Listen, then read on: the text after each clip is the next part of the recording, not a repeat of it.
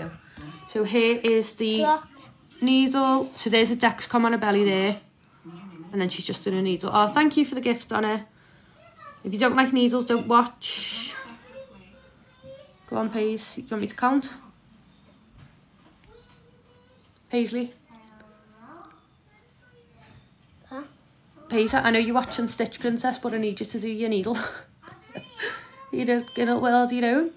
Well done. Good job. There we go. So there's the needle done. So she's going to take the needle out now and then the cannula will stay in her belly. So then we've got pump one side, which she's taking the needle out now where the pump will attach. Well done.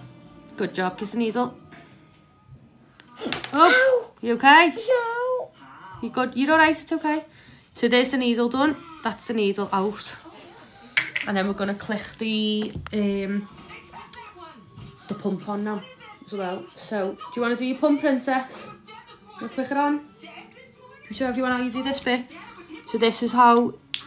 There we go, two clicks, nice and easy.